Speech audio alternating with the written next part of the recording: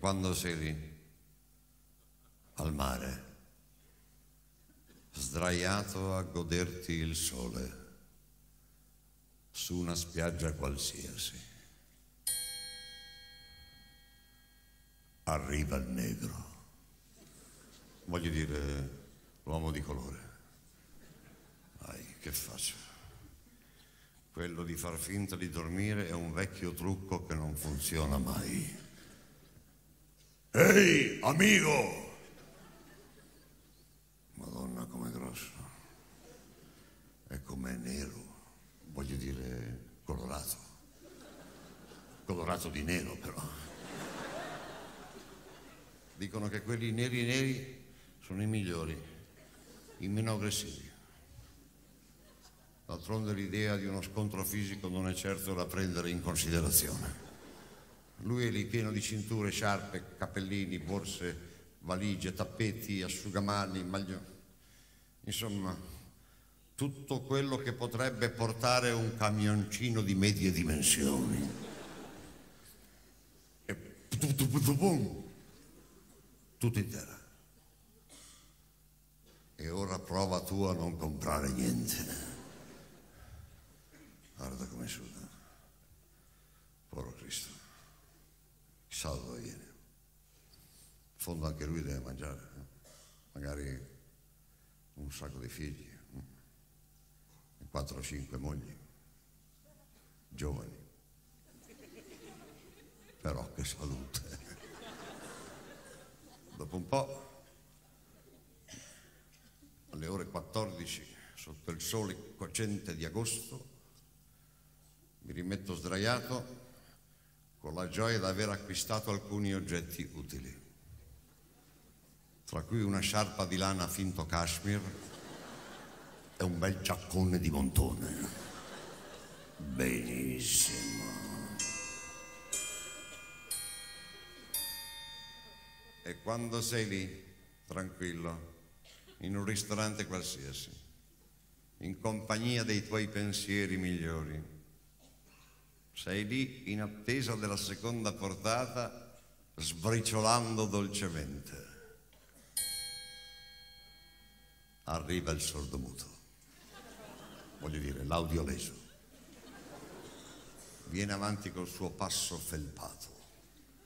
In un silenzio imperturbabile posa sul tuo tavolo un piccolo pupazzo e un biglietto con su scritto sordomuto.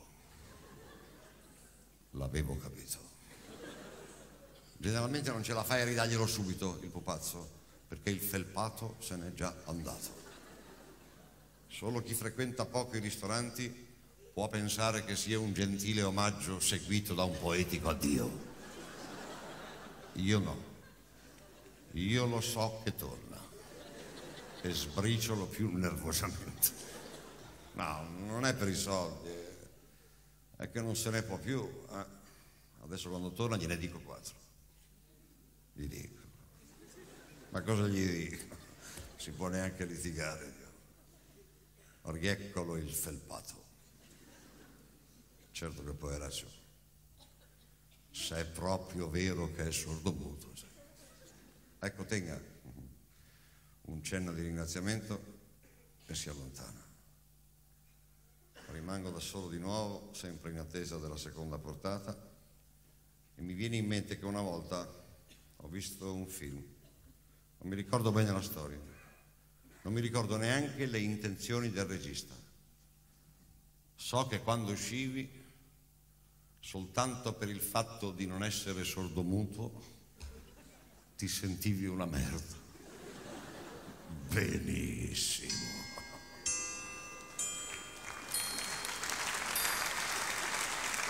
E quando sei lì, tranquillo, a un incrocio qualsiasi, a bordo della tua macchina pulita, appena lavata,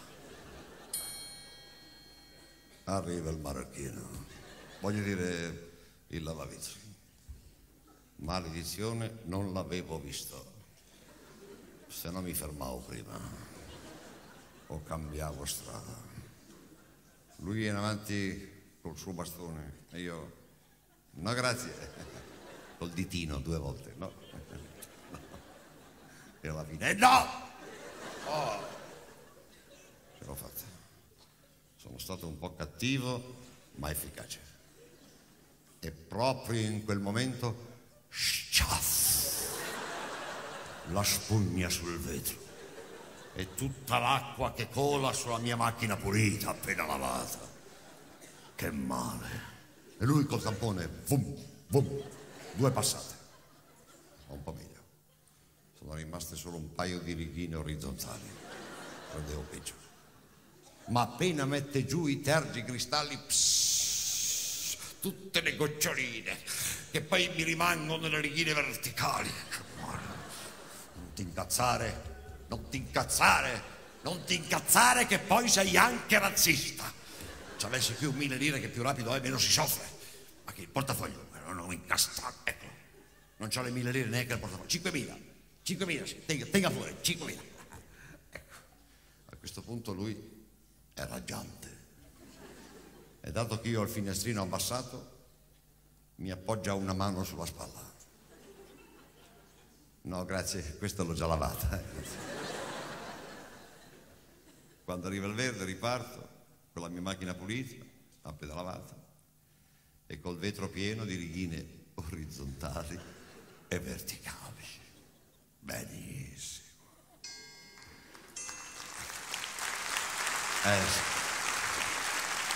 È vero, troppe volte accade di non sentirsi perfettamente a nostro agio. L'esistenza di qualcuno che sta male è una specie di tabù qualcosa che non vorremmo vedere. È come se dentro di noi ci fosse uno strano senso di colpa che non sappiamo spiegare. E allora, forse per riparare, abbiamo bisogno della nostra buona azione quotidiana. No, intendiamoci. Ben venga qualsiasi slancio che possa alleviare le sofferenze di altre persone. C'è solo da sperare che la nostra bontà sia il più possibile pulita, perché anche la bontà, se è compiaciuta, finta o addirittura interessata, non serve certo a procurarsi un posto in paradiso. Sono esigenti i guardiani del cielo. La sola moneta che vogliono